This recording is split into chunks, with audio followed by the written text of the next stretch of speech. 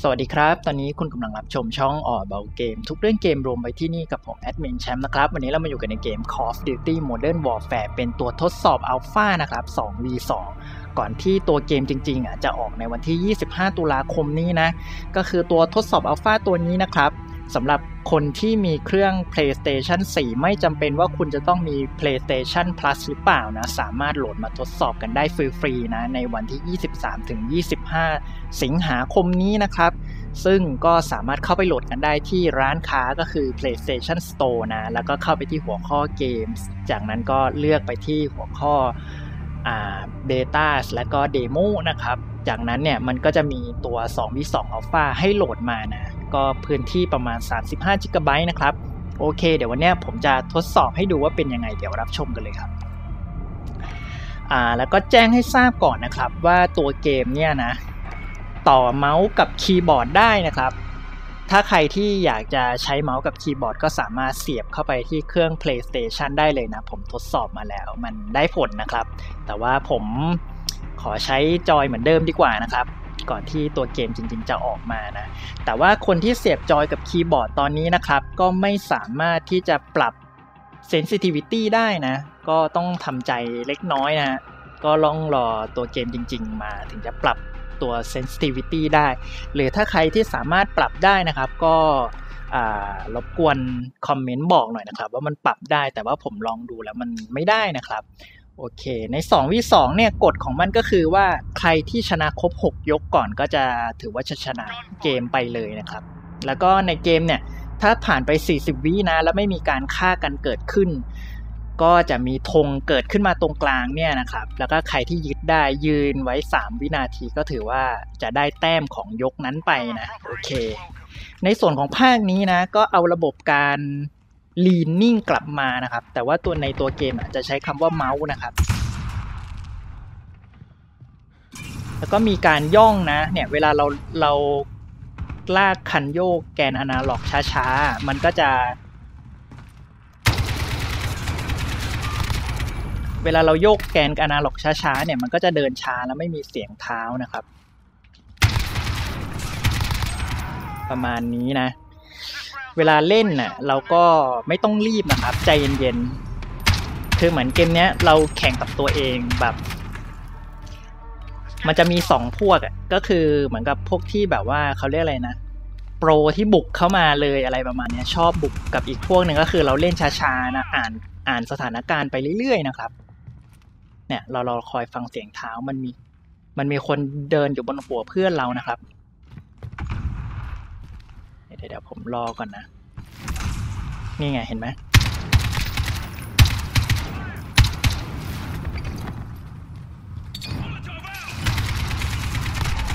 สองคนเลยนะ มีคนหนึ่งเดี๋ยวเราเดี๋ยวเราให้เพื่อนจัดการนะ โอ้ไม่ทันโดดลงมาชาร์จครับ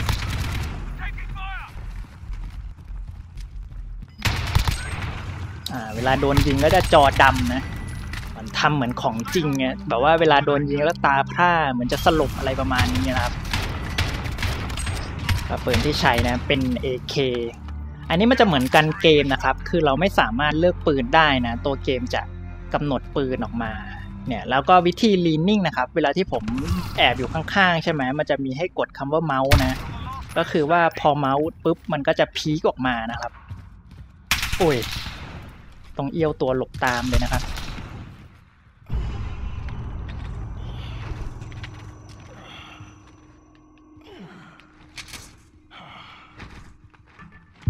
อ่าปลาโดนนะ เพราะว่า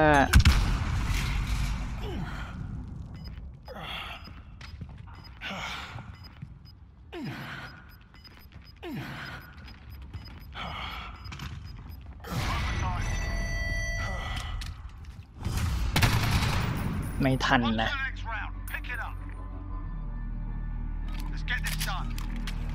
ก็นั่นแหละครับเมื่อกี้ที่ผมบอกนะว่าถ้าเกิดว่า 40 วิผ่านไปเนี่ย แล้วเกมยังไม่จบมันก็จะมีธงออกมา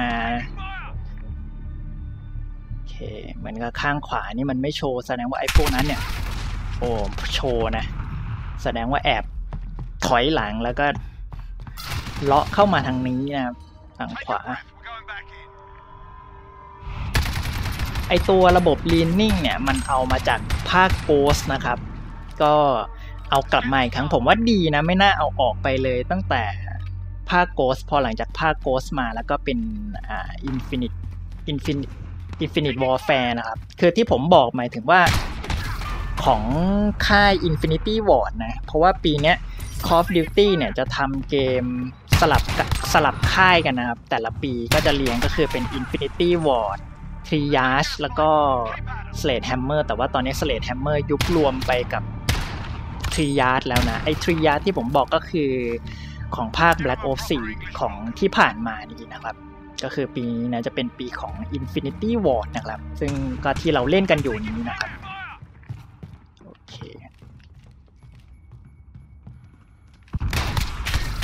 โอ้โห เข้าหัว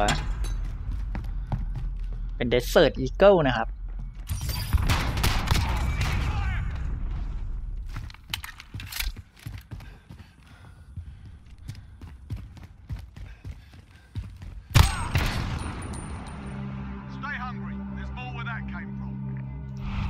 โอเคยังโชคดีนะว่าเพื่อนช่วยเราไว้นะครับ ก็ได้ยกนี้ไปนะ แล้วก็เดี๋ยวในช่วงเดือนหน้านะครับ มันก็จะมีเป็นเปิดทดสอบอีกรอบหนึ่งนะ ก็จะสลับกันระหว่าง PlayStation แล้วก็คอมพิวเตอร์ด้วยนะครับ ของ PC ถ้าเป็นบน PC จะเป็น Battle.net นะโอเคเหลือคนสุดท้าย Molotov ก็เดี๋ยวช่วงเดือนหน้านะสำหรับใครไม่จำเป็นจะต้องสั่งจองล่วงหน้านะครับ เกมนี้ก็รอทดสอบ beta อีกทีในช่วงเดือนหน้านะอะไรเงี้ยก็เดี๋ยวเดี๋ยวตัวรายละเอียดว่ามีวันไหนอะไรยังไง เราจะประกาศให้ทราบอีกทีใน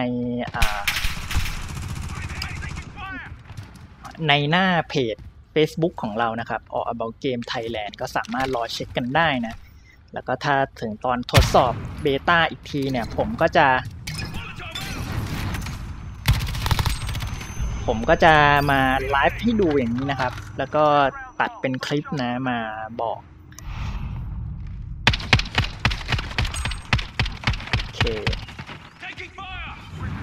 ตอนนี้เราก็นำนะครับ 5 ต่อ 3 นะ เป็นแมตช์พอยต์แล้วเราขาดเกมยกเดียวเท่านั้นนะครับ ก็จะได้เกมนี้ไป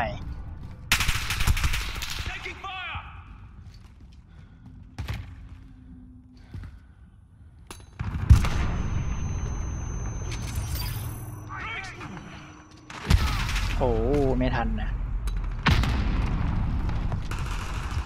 ไอ้ภาคนี้นะครับ ระบบการคุมรีคอยอะไรเงี้ย ก็จากปืนที่ผมได้ลองใช้ใช้มานะ คุมง่ายนะครับ ก็ผมโดยส่วนตัวนะ ผมถูกฉลกกับเกม Call of Duty ทางค่าย Infinity Ward มากที่สุดนะครับ เพราะว่าผมคิดว่าการดีไซน์แบบเนี้ยไม่มีพื้นที่ศูนย์เปล่า แล้วก็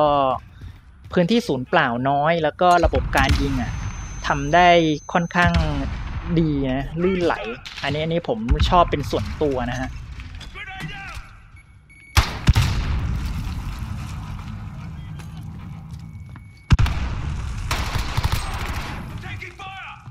โอเคเหลือตัวคนเดียวนะครับ เกือบไปนะ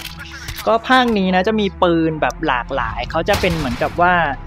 กลับมาสู่ยุคปัจจุบันแล้วนะ ปืนที่เพื่อนๆได้เห็นเนี่ยก็จะเป็นปืนที่มันมีจริงๆนะในในโลกปัจจุบันนะครับในการค้าปืนนะค้าอาวุธอะไรพวกนี้ทำให้มันดูตื่นเต้นมากขึ้นนะครับ แล้วก็เหมือนเขาก็ต้องซื้อลิขสิทธิ์พวกขอลิขสิทธิ์พวกปืนนะอะไรพวกนี้มาทำก็ถือว่าทำได้ดีนะ แล้วก็ ก็ในส่วนของ Call of Duty ก็มีการเปลี่ยนแปลงเยอะขึ้นมาเยอะพอสมควรนะ ตอนเนี้ยยังเรียกว่าอะไรอะ ภาคนี้นะครับ มันจะไม่มันจะไม่มีระบบ season pass แล้วนะครับ จะกลายเป็นว่ามีการอัปเดตฟรีตลอด ฟรีตลอดช่วงอายุไขของตัวเกมเลยนะ ก็คือจะอัพอัพไปเรื่อยๆนะ เปลี่ยนโมเดล เพราะว่าปกติเนี่ยตอนเป็นซีซั o นแพสก็คือทุกๆ 3 เดือนเนี่ยก็จะมี DLC มาทีละตัว แล้วก็อย่างไอภาค Black Black Ops 4 ที่ผ่านมานะครับ มันฟปลี่ยนรูปแบบการทยอยปล่อย DLC มาแบบ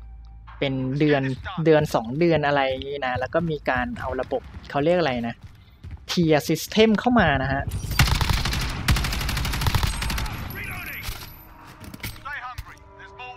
แต่ว่าในภาคภาคนี้ผมเชื่อว่าก็จะเป็นแบบเดียวกัน แล้วก็มันเน้นขายพวก cosmetic จาก loot box อะไรประมาณนี้แต่ว่าเหมือนกับทางทีมงานเขาบอกว่าตัว loot box พวกนี้ก็จะเป็นแค่ cosmetic only นะครับ ก็คือเหมือนกับว่าจะไม่มีพวกปืนที่แบบเขาเรียกอะไรนะ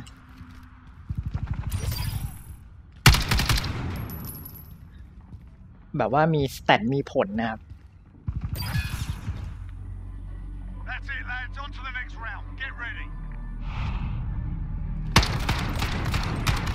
เพื่อนเราไปอยู่มุมหนึ่งนะ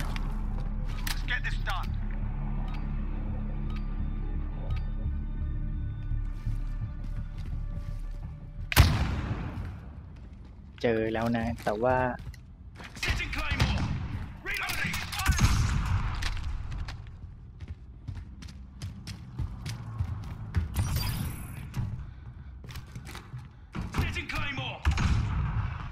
อันนี้เป็นเคลมอนะครับ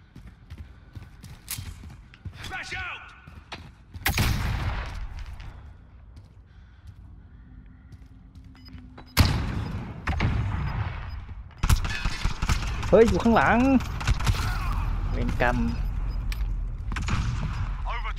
อ๋ออยู่ข้างบนนะ โอ้ นิดเดียวเดลวี Losing นะครับ ก็เป็นอีกปีหนึ่งนะ ที่ผมคิดว่า Call of Duty น่าจะมีความตื่นตัวในประเทศเยอะนะครับ ถ้าเกิดว่า เพื่อนๆคนไหนที่เล่นนะครับ ก็คอมเมนต์ทิ้งไว้ได้นะ บอกว่าเพื่อนๆปีเนี้ยเล่นบนเครื่องไหนนะฮะเป็น PlayStation 4 บน PC หรือว่า หรือว่าที่ไหนก็บอกบอกกันได้นะ ส่วนตัวผมนะ ผมพรีออเดอร์ไปแล้วนะครับ บนบน Battle.net นะครับ ก็เดี๋ยวเจอผมได้นะ บน PC นะครับ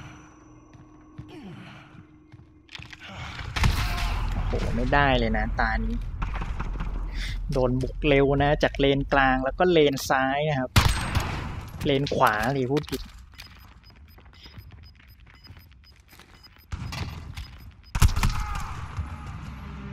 On to the next round. Pick it up.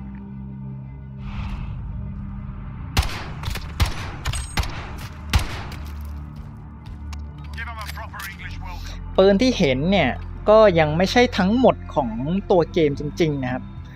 ตอนที่เกมออกเนี่ย เชื่อว่าน่าจะมีมากกว่านี้นะครับ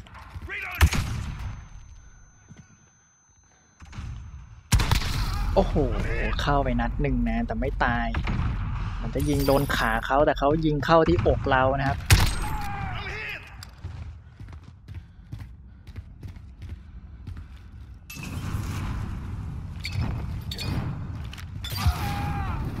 แล้วก็เหมือนภาคนี้นะ จะมีไอเนี่ยโล่กันกระสุนกลับมาด้วยนะครับ ให้สำหรับเซตคลาสแปลกๆกันนะ ถ้าสมัยก่อนที่ใครเคยเล่น Modern Warfare 2 3 อะไรประมาณนี้นะ ก็จะมีแบบพวกเซตคลาสโล่นะ กับช็อตกันนะ ก็จะแบบเข้ามาไล่ยัดกันประมาณนี้ครับ คนนี้แกไวจริงๆนะ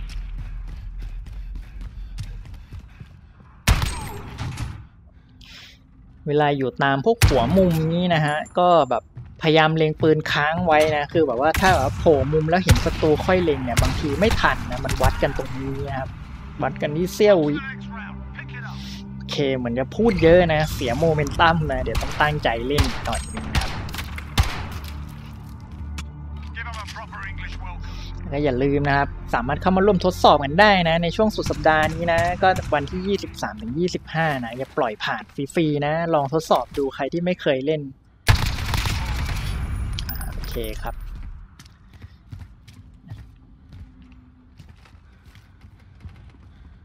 เวลาจะย่องอะก็คือแบบค่อยๆผลักแกนอนาล็อกไปนะครับ มันก็จะไม่มีเสียงเท้านะ เพื่อนๆใส่หูฟังอะก็จะได้ยิน โอเค ก็กลับมาขึ้นนำอีกครั้งนึงนะครับ อันนี่เหมือนจะใส่รองบาเรลนะครับ แล้วก็ชุดแต่งนะมีให้เลือกแบบเยอะมากเลยภาคนี้ดูเหมือนจะแบบใครที่แบบเซตคลาสก็เพิ่มความหลากหลาย แต่ว่าในความหลากหลายนะ ก็แบบชวนให้ปวดหัวนะฮะโอ้ยโหดีนะ คนนั้นเขายิงได้นะครับ ผมก็คิดว่าเขาจะอ้อมมาจากทางขวานะเปล่านะ ก็สวนวิ่งสวนปืนผมออกไปเลยนะ ถ้าจะให้ดีควรจะอ้อมไปตบทางขวามากกว่านะเค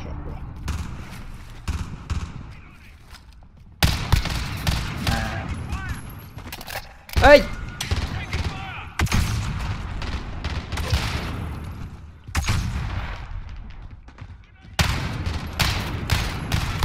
โอ้โหเกือบ โอเค เกมนี้เราก็ได้ไปฮะบางทีนะแบบ ไม่รู้เปลี่ยนลูกทำไมนะเพิ่งยิงไปหกเจ็ดนัดนะกระสุนเหลือในซองเป็นยี่สิบกว่านัดนะฮะโอเคแต่ก็ชนะมาได้นะ เดี๋ยวเดี๋ยวจะให้ดูอีกสักเกมหนึ่งนะ อยากเห็นแมปอื่นมากเลยอะแต่ว่าโดนแมปคิงสองรอบแล้วนะครับโอเค เดี๋ยวมาดูกันต่อนะฮะ แล้วก็ต้องแจ้งนะ ไม่ต้องกังวลนะ ภาคนี้ก็เหมือนกับภาคที่แล้วนะครับ คือในส่วนของเครื่องคอนโซลอะไอภาค Back Ops 4เนี่ย ผมมีบนสองเครื่องเลยนะ เป็นทั้งอะไรอะทั้ง PC แล้วก็ตัว PlayStation 4 นะ แต่ความรู้สึกผมนะ เหมือนกับว่าบน PC อะ เล่นบน Battle.net อะ แล้วเซิร์ฟเวอร์มันดีกว่าเยอะเลยนะเสถียรมาก แล้วก็หาห้องได้ตลอดนะครับ แล้วก็ ping นะ ping ของผม40นะ ผมต่อต่อแลนตรงนะ เข้าเครื่องเลยทั้งเครื่องคอมแล้วก็เครื่อง PlayStation นะครับ อันนี้เป็น map อีก map หนึ่งนะ ชื่อว่า map Pine นะครับ เป็น map ป่า นั่นแหละครับ คือคือถ้าจะให้ผมถามผมว่าแนะนำอะใครชอบอันไหนก็ทางนั้นได้เลยนะครับ แล้วก็เพราะว่าภาคเนี้ยจะเป็น cross play นะ เจอกันหมดเลยนะ ก็คือแบบว่า PlayStation Xbox PC เนี่ย เล่นข้ามค่ายกันได้หมดเลยนะครับ อ่า คนนี้เขาใช้ Leaning นะก็คือคือสมมุติว่ามีเพื่อน ถ้าคุณมีเพื่อนแล้วเพื่อนคุณมี PlayStation แต่คุณอยากเล่นบน PC อะคุณก็มาเล่นด้วยกันได้นะ ดูทรงแล้วจะต้องสมัครเขาเรียกนะ เหมือน Activision ID ก็คือ Call of Duty ID นะครับ แล้วเวลาชวนเพื่อนอะก็ชวนข้ามค่ายกันได้นะ ก็เป็น เกมไร้พรมแดนนะผมเลยเชื่อว่าภาคนี้มันจะยิ่งพีคเข้าไปใหญ่เลยนะครับ ก็เดี๋ยวต้องรอดูทีนะ เหมือนโดนยิงจากด้านบนทางนู้นนะข้างหน้าก็มีนะเอ้ยมีด Flash Sorry. it out.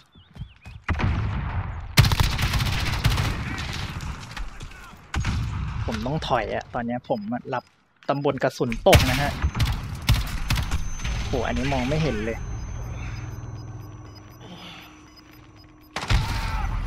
ได้โดนล้อมซ้ายนะไอ้เพื่อนเรานี่ก็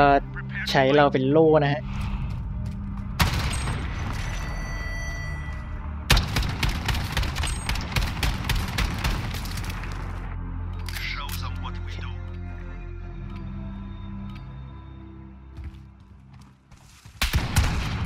หือไม่โดนจ้า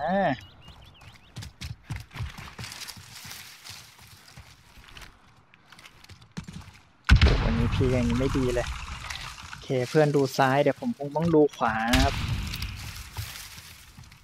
โอเคผมเห็นแล้วไอ้คนนั้นอยู่ข้างบน แต่ผมต้องหนีทางนี้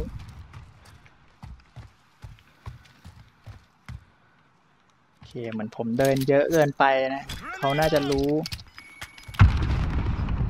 เขาน่าจะรู้เสียงเท้าผมแล้วนะโอเค ผมเจอเขาแล้วาร์จเลยนะครับ โอ้โห เข้าหน้าเลยครับโอ้โหอันนั้นเขาสติดีกว่าเรานะ จริง ๆ เหลือคนเดียว หนีเข้าไปชิงธงดีกว่าตูนำสามศูนย์เลยนะครับ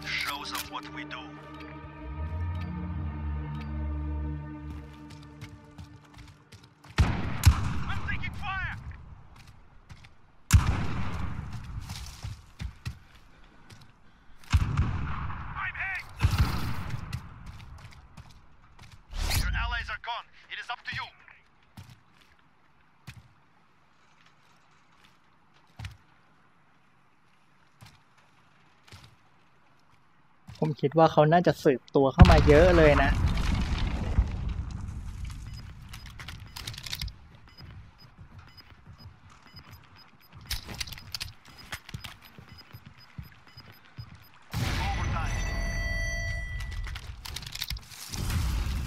โอ้ไม่ได้เลยนะ คนหนึ่งรออยู่ในคอนเทนเนอร์นะเฝ้าอยู่ข้างนอก คครับ อันนี้เป็น close quarter นะ เพราะว่าเป็นลูกซองทั้งคู่นะครับ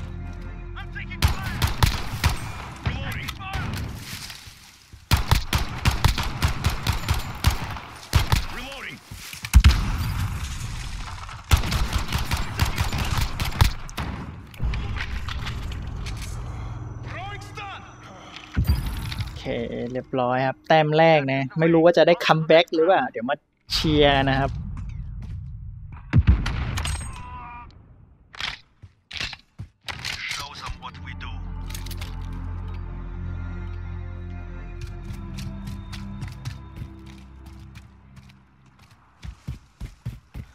อ้ย I'm taking fire. เห็นแค่คนเดียวนะ ยังไม่เห็นอีกคนนึง โอ้ สวยละขานเข้าใต้คอนเทนเนอร์นี้ ไม่ได้อีก ตายละ อุ้ย เอาละนำแล้วนะฮะ Reloading. comeback is real นะครับ Thanks. This round is ไล่ขึ้นมาเป็นสองสี่นะ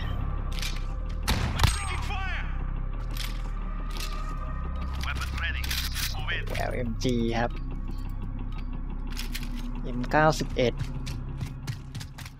แล้วก็ปืนนะมันจะปรับโหมดได้นะครับ เป็นยิง single full auto หรือ burst fire อะไรเงี้ยนะเลือกได้นะครับ โอ้โหอันนั้นไปไวเกิน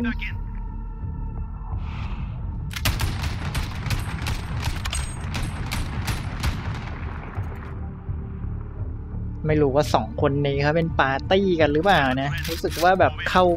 เข้าขากันดีมากนะครับ ส่วนของเรานี่ก็โซโล่ล้วนๆนะฝั่งนู้นนะเขาเห็นตำแหน่งผมแล้วนะผมเห็น ผมเห็นสายปืนมาจากด้านบนนะ ลองดูนะว่าจะเจอเขาหรือเปล่า อ่าได้แล้วนะ คนหนึ่งโอเคใจเย็น ให้หน้าจอหายดำก่อนนะครับ ตอนนี้นำแล้วนะ สงสัยต้องใช้ขโมยธงโอเค ไม่ต้องนะ เก็บคนเดียวสองคนนะครับผมยอมแพ้นะ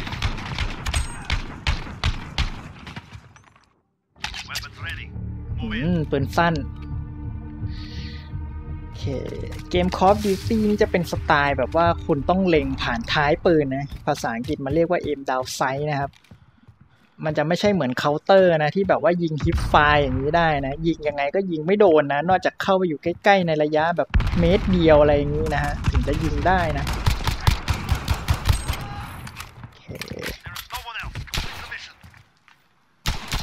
สองสามสี่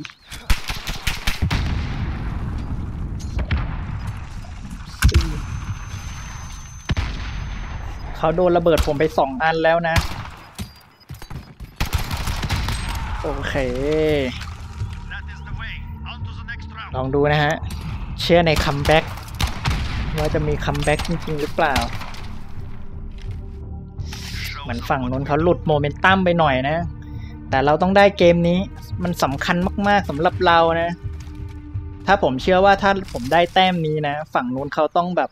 ไม่ไหวแล้วอะ่ะ I'm here. Taking โอ เคไม่เป็นไรแลกกันไปคนละนัด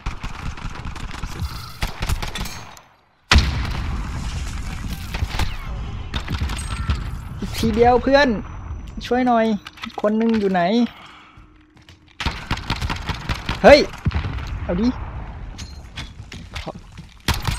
โอ้โห comeback is real ครับ ผมว่าเกมนี้เป็นของเราแน่นอนนะ จำไว้นะฮะ เวลายิงฆ่าได้เนี่ย พยายามอย่าเดินหน้าครับ ยิงได้พยายามเดินถอยมาแล้วดูอีกมุมหนึ่งก่อน ฟอสเขานะ เอาละครับ เกมสุดท้ายนะ เต็มเนี่ยโมเมนตัมเป็นของเรานะ เพราะฉะนั้นผมเชื่อว่าการบุกน่าจะดีกว่าการ Throwing stun. โอเคผม ส่งเสียงหลอกนะ แล้วก็จะย้ายข้างไปอีกข้างหนึ่งนะครับอู้อู้อู้อู้อู้อู้เห็นละ ถอยก่อนนะ ถ้าเขาเห็นก็อย่าไปฝืนนะครับ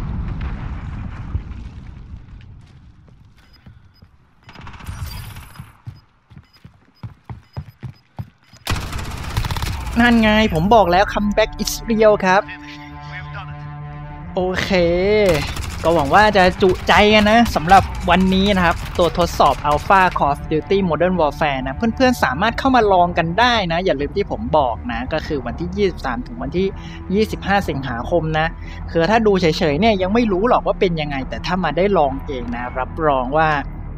อาจจะติดใจ Call of Duty เลยนะครับโอเคสำหรับวันนี้ยังไงมันก็สักพักหนึ่งแล้วนะ ก็เดี๋ยวกลับมาพบกับแอดมินแชมป์ได้ใหม่ใน ตอนต่อไปนะสำหรับเกมถัดไปหรือว่ายังไงเดี๋ยวรอรับชมนะครับ โอเคนะวันนี้ต้องลาไปก่อนสวัสดีครับ All About Game ทุกเรื่องเกม รวมไว้ที่นี่